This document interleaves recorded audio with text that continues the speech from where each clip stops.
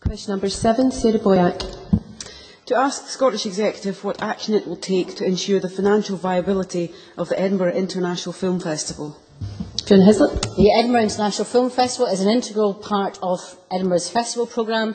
Over the past four years, the Scottish Government has supported the festival through Creative Scotland and the Expo Fund, this year awarding £100,000 toward the cost of workshops for nurturing young talent and honing skills and expertise. The Centre for the Moving Image Scotland, the um, International Film Festival's parent organisation, have recently undergone a review as part of Creative Scotland's Foundation Organisation Review, and Creative Scotland are continuing funding for the organisation this year at £400,000. Sarah Boyack.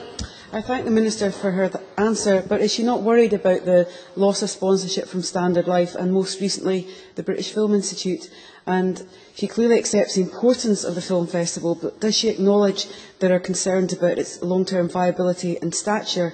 Will she step in and act now to ensure that we do have a viable um, uh, film uh, festival in Edinburgh and that it retains its premier status? Cabinet Secretary. Well, we most definitely have a viable um, film festival. Can, can I maybe explain that it was the UK, UK Film Council um, that had previously had a three-year uh, funding package which ran out on the 1st of April 2011. Now, clearly the UK government then um, abolished the UK Film Council and transferred the responsibility to the British Film uh, Institute. The British Film Institute are currently working with Creative Scotland in looking at what their support will be for films outside and film festivals outside London.